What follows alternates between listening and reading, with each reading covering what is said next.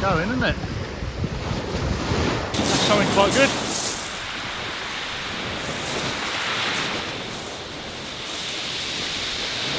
We're on the beach again. It's a grey old day, isn't it? Still quite mild for February. Nice little gentle southwesterly.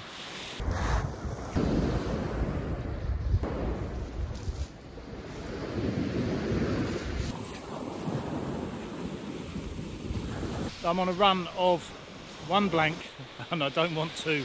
February is a really hard month actually for sea fishing, my record show. Um, and it is a case of scratching around. The fish aren't there in numbers, maybe dogfish, not even the whiting is showing at the moment. Um, so anything would be a win really. It makes sense to go the flowing side of the tide. I need to go this side of the Braun.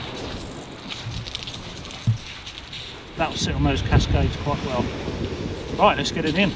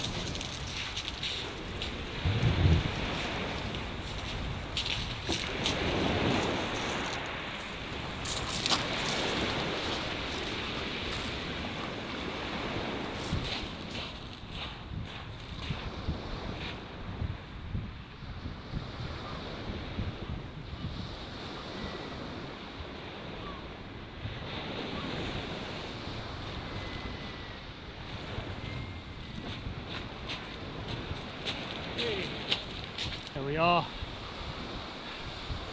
I'm back with my old friend. Back with my old friend. 42 centimetre bass there. Just nick that out of the lugworm out. We have one. A bass. Look at that. Lovely fish. Oh, I've missed you. Here we are. Great stuff.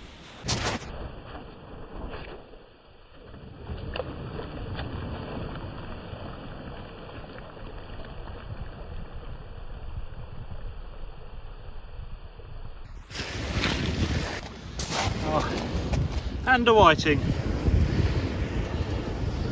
Not quite as welcome, but two on the hook there. That can go back as well.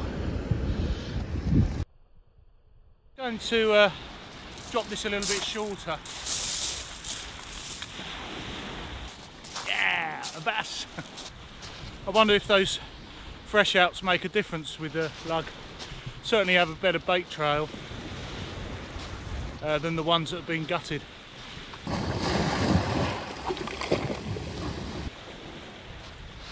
Must stop doing this, leaving stuff.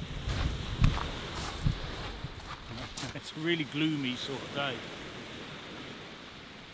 Pleased to get that bass. It just makes me a little bit more intense to be looking at those rod tips.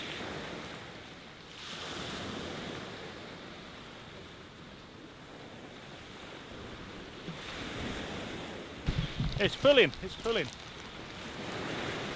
Something's flapping.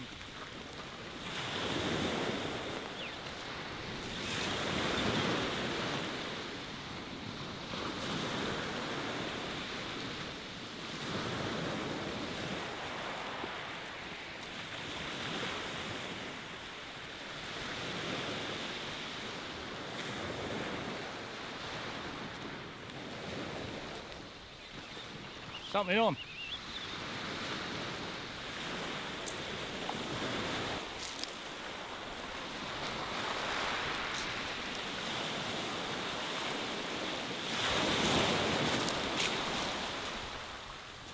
Well, it wouldn't be a, a beach session for me without a dab, would it? That's amazing how I really felt that on there, flipping around. And that is testament to the braid as well. Uh, look how that's hooked, lovely.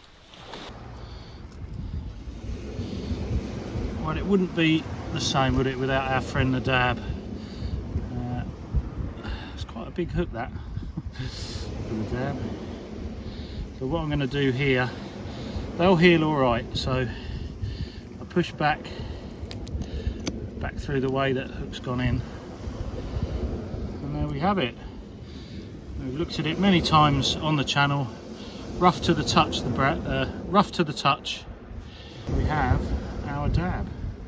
Well, that is quite small. 19 centimeters. There's about 17, I think. Let's have a look. I'm usually quite good at estimating, but that is well, that's over 19. Look at that. So, does show these dab are a small flatfish. Oh, uh, we're going to have to put this one back. You see there, it's just under the 20, which is the size limit the dab. Beautiful. Nice to see the, the dab. As I say, with those continental rods, you can pick out a dab at 100 yards. What I want to do now is catch a fish to keep.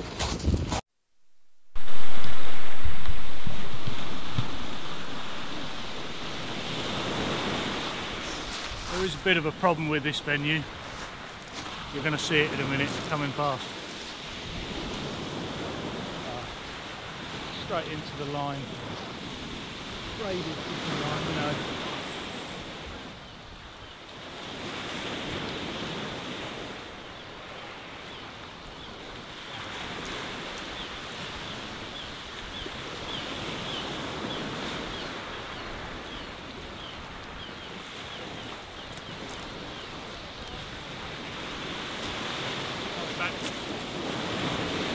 Touch this time.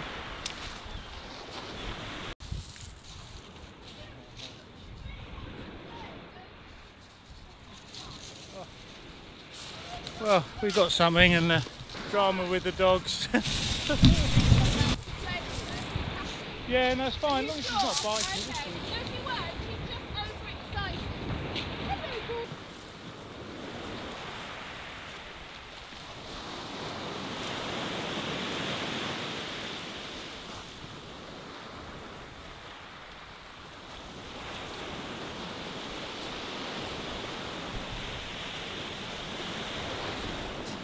Something very small on here, I think.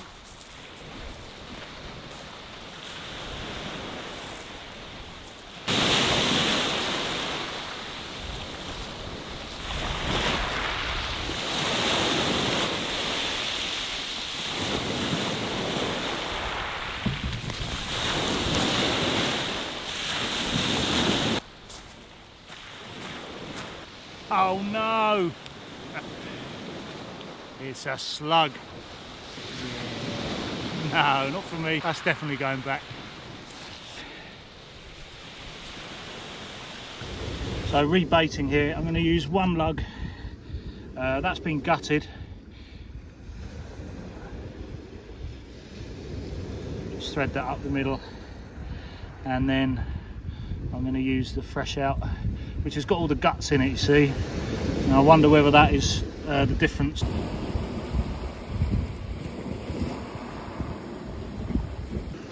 I wonder if that makes a difference actually having this.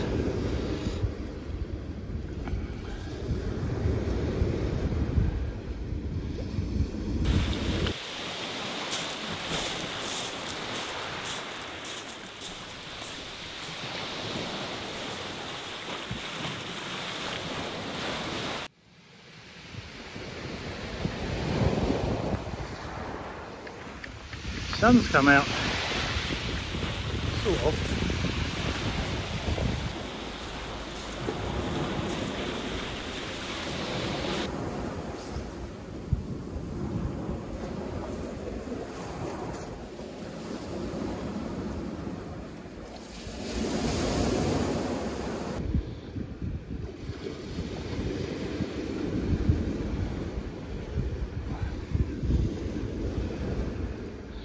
Little bit harder there you see on the tail. You can get that over the eye without bursting it too much. The problem is with those rockling if the rockling are beating bass flounder and dab to the bait there can't be that many bass flounder or dabs so usually a bad sign but we'll go again. Let's rebait hope for something else.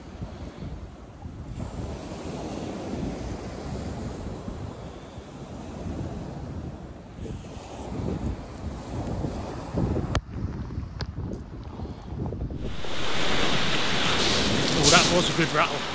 That was a good rattle. Have a little feel, but I won't bring it in.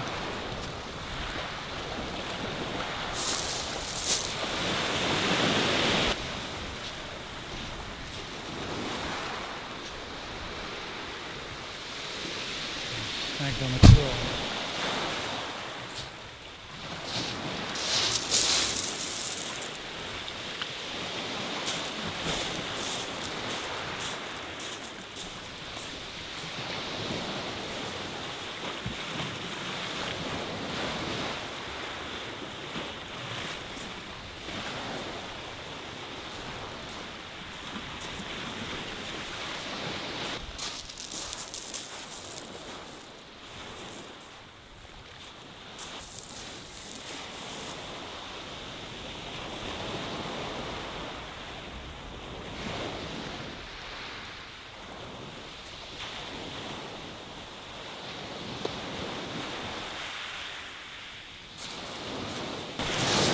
That's quite good.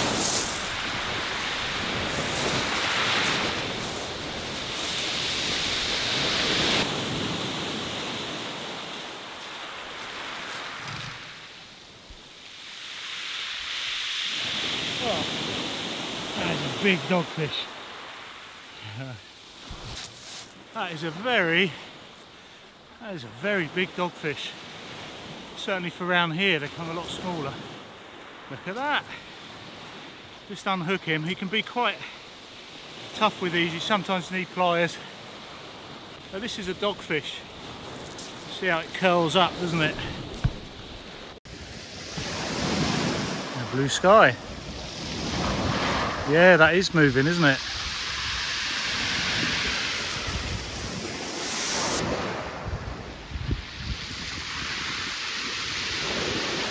It's going, isn't it?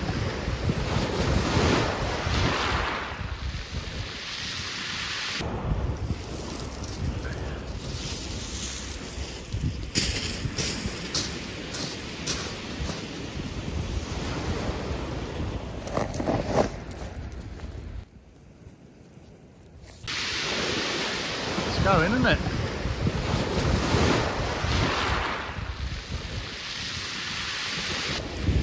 That's a bass.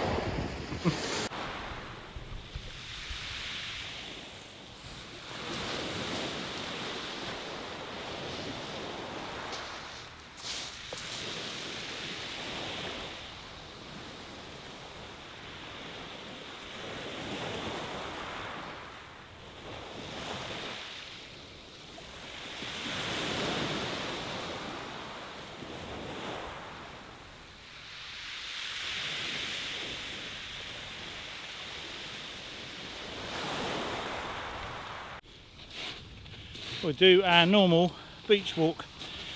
A lot of anglers are doing this now, just at least pick up a little bit of litter. Uh, so many plastics around. Bin just off the seafront here, might as well just chuck it in there. Uh, some of the things I'm not sure about touching, but always get a good idea.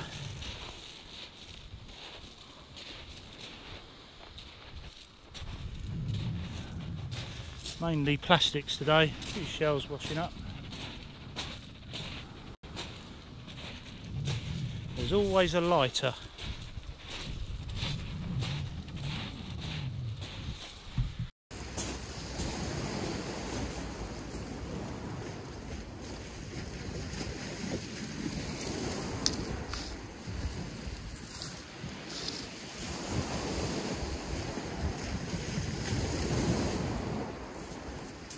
Wound it in about 10 yards. See if that fish will come back. It's a bit frustrating, but that's fishing, isn't it? I'll bring it in, rebait, try again, try and put it in the same spot. The bait puts out a little bit of, uh, hopefully those juices are attracting the fish into that feeding zone. We'll see.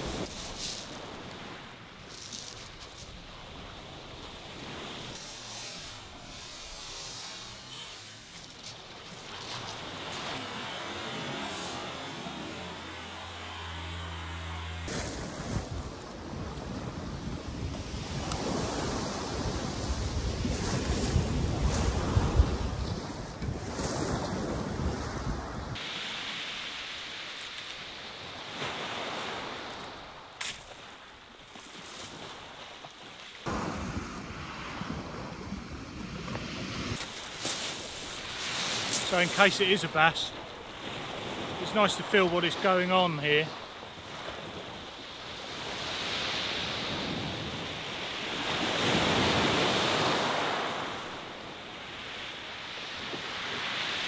Brilliant.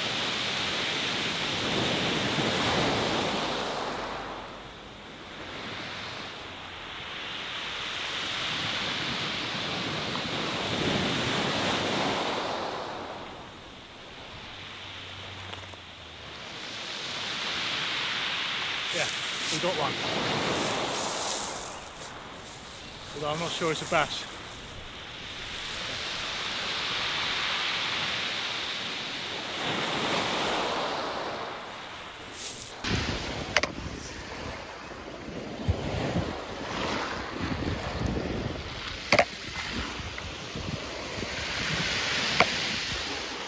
Nothing. Oh, that's so annoying.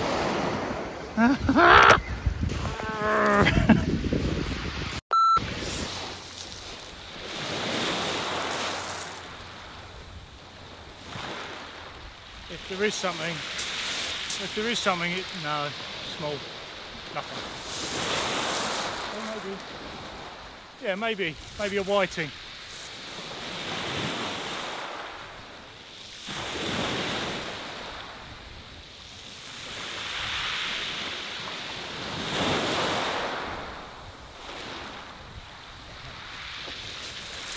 There's a bit of weight here. What is it?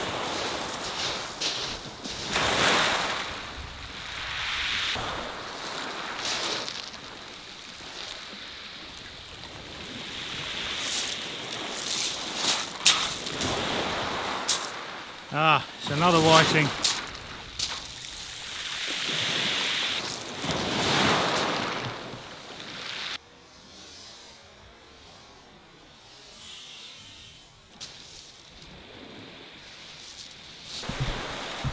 I messed up a little bit there. I've cast over the groin. So what I'm going to have to do when I retrieve it is obviously go that side. Just got to remember where it is. Or I'm going to be drawing that line right across that groin. I'll be drawing that line right across the groin there. I'll put some more lug on. Well, I'm getting a good old pull on that rod. I think what I'll do, if I, if I don't get something this time, I'm going to make the base a bit smaller. It's not a definite bite, something having a go though, isn't there?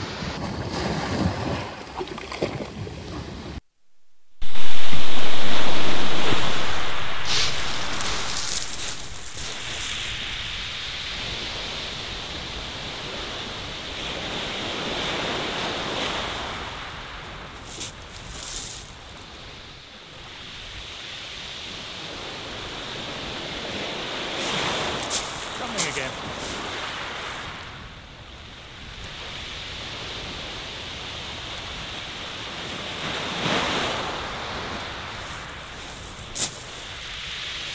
One for tea.